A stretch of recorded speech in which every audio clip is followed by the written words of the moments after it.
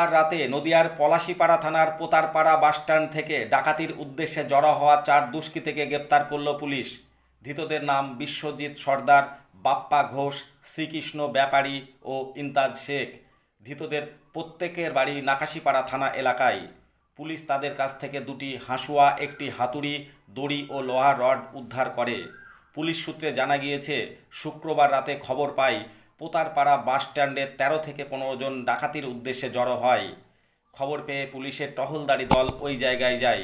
সেখানেই পুলিশ দেখে সবাই পালিয়ে যাওয়ার চেষ্টা করে। পুলিশ চারজনকে ধরতে পারলেও বাকিরা পলাতক।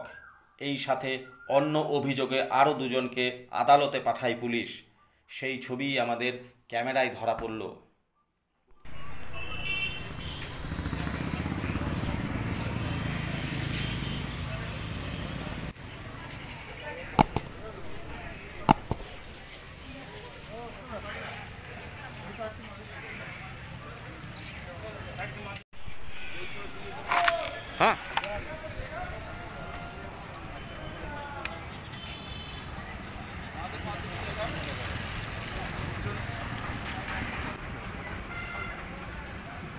একজন কোলে বস উঠে বস।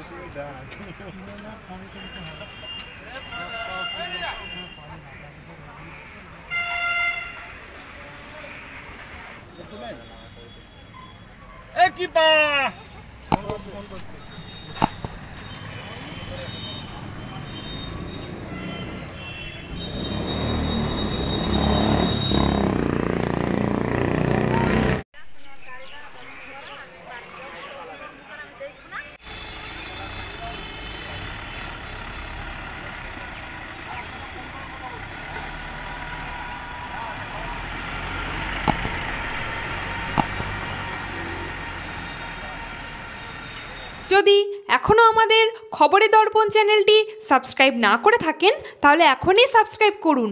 সঙ্গে বেল বাটনটি ক্লিক করুন আর পেয়ে যান সব খবরের দ্রুত ভিডিও আপডেট।